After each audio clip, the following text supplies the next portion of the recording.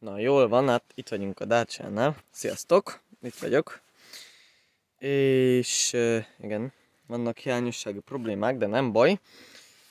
Kapjuk az új alkatrészeket rá most, és ki lesznek cserélve. Nyáron több mint valószínűleg fogunk egy ö, vízpumpát, meg egy izét cserélni, egy ö, szíjat, mert az már rá kell. És ö, most, érgez, most érkeznek meg a gumik, például oda. Mondjuk uh, ide. Jön akkor az olajszűrő is, meg a többi cucc, ami kell rá, és akkor lesz egy cold start videóm is végre, ami hát az össze fog jönni. Én nagyon